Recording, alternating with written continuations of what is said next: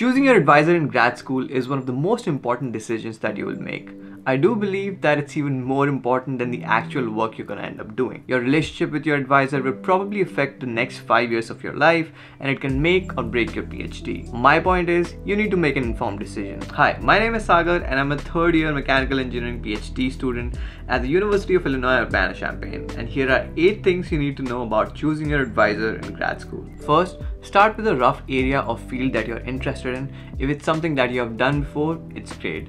But even if it's not, and if it's something that you want to try out and it's something new, I think it's completely fine. Although some knowledge is required to get started with a new project, but that will even be true for any of the field you have worked in before. Prior knowledge might give you a slight head start, but you'll still need to figure out all of the details of the project. Doing research, I think, is a very transferable skill between projects. You have to identify the problem, fill your knowledge gaps, and just do the work. Then fail, and then try again, and the cycle keeps continuing. Anyway, start with the rough area that you're interested in and then make a list of professors that you like. Now the first thing you want to do is go to the group website. If a research group maintains an active web page, I think that's always always a green flag. That's the first impression a potential advisor or research group makes on you and that's literally your first point of contact before you actually talk to a real person in the group. An active web page shows that how much an advisor actually cares about attracting the right kind of students to their own group. So on the group website, you can see things like how many people are there in the group, what kind of projects that they're working on, are there people that are working in the area that you're interested in, this can be really helpful because not all advisors are going to be hands-on and they might not train you actually during the initial stages of your PhD. So in that case, you can get a lot of help from the group seniors that actually work in your area and then you won't have to figure out everything by yourself, which trust me is going to be a big help. What kind of group size you want, I think, is a really subjective thing. Some people want a smaller group and they really want that one-on-one -on -one focus from their advisor, which I think is completely fair. For me personally, I wanted a medium sized group, not too big that I don't get enough one on one time with my advisor, and not too small either that there's more focus on me and I'm expected to produce results more frequently. Plus, I was also looking at it from a socialization angle, which was also really important to me. Now that you've looked at the group website, the next thing you're gonna do is reach out to the professor asking them for a meeting.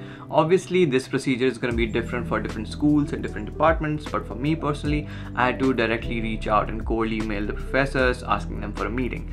If a professor replies fairly quickly, that's a big bonus in my book because as their student, I would want my advisor to respond to me as promptly as possible. But of course, every professor has a different schedule and they're really busy people, so I don't think you should be too strict about this expectation. As long as they're not ghosting you, I think it should be fine. During the meeting, both you and your potential advisor are trying to judge if the other person is going to be a right fit for them. You've probably already sent your CV, so the professor has some idea about your background. Now, it's time for you to ask questions and be well informed. Ask things like do they already have any projects available that they think could be a good match for you? If not, do they have a rough idea in mind that they think you could try out? will you be writing out a proposal. However, the exact project that you're going to be working on shouldn't be a deal breaker at all because like I said before, having a good advisor is far more important than the exact project that you're gonna end up working on. Now, this might seem a little bit awkward at first, but I do think that it is a very good idea to ask about your funding situation. If you don't have a reliable source of funding, you might have to end up TAing a lot, which will take away time from your research. However, depending on what you actually want to do in life, you might actually like teaching, so that may even work out for you.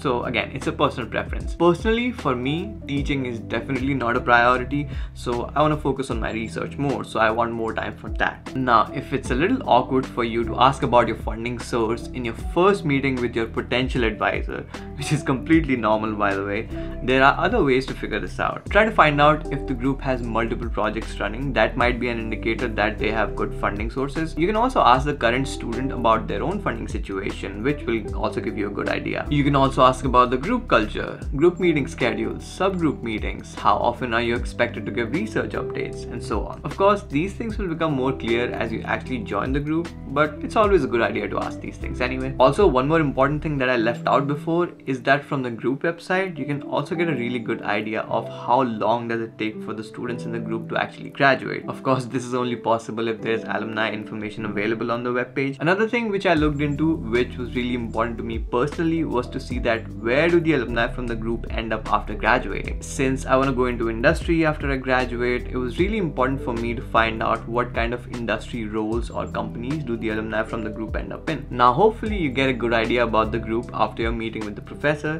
The next really important step is to talk to a few people from the group. If the current students are willing to talk and help out, that's always a good sign. In my case, my advisor himself suggested that I talk to a few people from the group, which was great. I think the most important question that you can start with is the professor's advising style because your relationship with your advisor is gonna affect the next five years or so of your life. So I think it's really important. Is the professor a micromanager? Are they hands off? Are they too hands off and help isn't available when you ask for it? Are they easy to reach? What kind of research progress do they expect? How do they deal with students' failures? What is their temperament like? Get as specific as you want. You get the point. I think you can even ask the students if they are happy in the group in general or not. What do they like or don't like about the group? Then, of course, talking to multiple people is important because every person has their own opinions.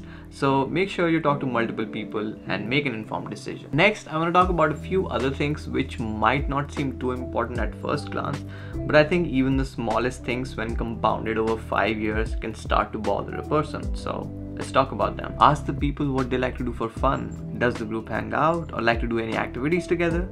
If the students from the group say that they don't get much time to do anything else other than research, then that might be a red flag. Tour the office space. What do the offices look like? How often do people come into the office? What do the desks look like? You're going to be working there for five years or so, so it's important that you feel comfortable in the space. Are other group members' desks around you, or are you going to be working alone? Again, this is a personal preference. Some people like to work alone but me personally i like to have other people around me to talk to once in a while so that i don't work in complete isolation because you know socialization is important being lonely is as bad as smoking two packs of cigarettes a day. So go out and talk to people. If it's an experimental lab, then what do the labs look like? Do you guys have enough equipment? Again, you can ask the students about lab culture, research pacing, timelines, funding sources, and all of that fun stuff. And then finally, this video is to provide you with a rough guideline when you're looking for an advisor so that you're equipped with knowledge and you end up making an informed decision. But ultimately, it does come down to your own personal preference and your priorities. Personally, I wanted a not a micromanager but not too laid back advisor who is easy to reach. I wanted a medium sized group with people going into industry after they graduate and not taking too long to graduate either. I think I got lucky and got a lot of things I was looking for not everything, of course, but you know, that's life. But yeah, I hope it works out for you too. If there's one thing that I would like you to take away from this video, is that choosing your advisor in grad school is one of the most important decisions you will make. So just approach it with care, you know?